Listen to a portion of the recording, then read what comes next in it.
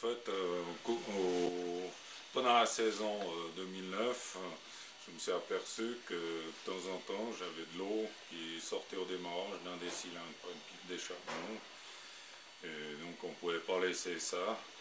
Donc on a démonté le moteur de l'avion et puis on a démonté un, bloc cylindre pour, euh, vérifier euh, si on avait un joint interne au niveau du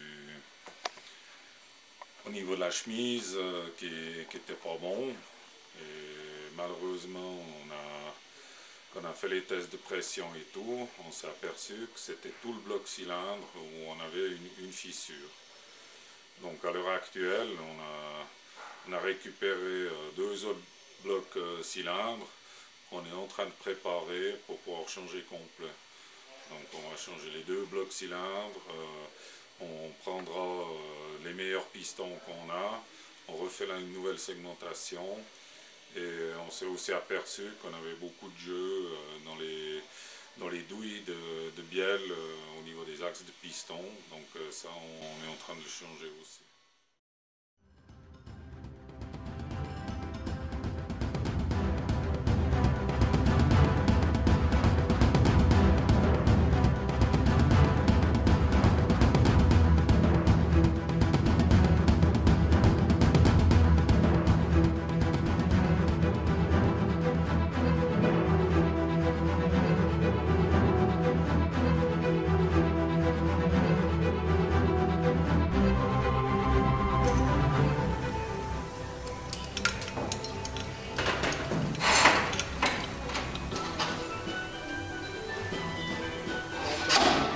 영어에다.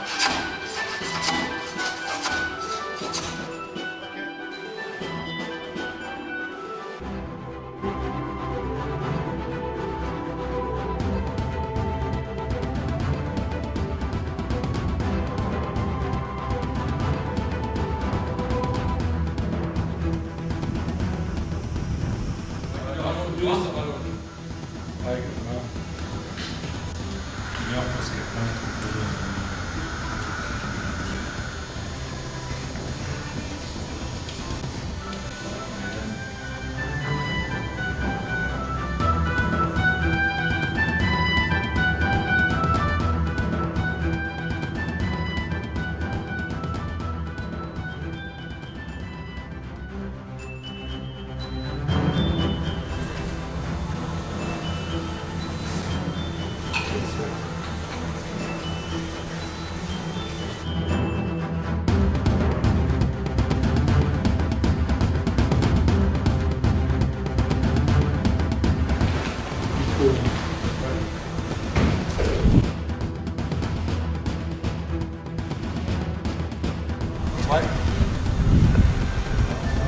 Ouais, c'est bon, ça passe.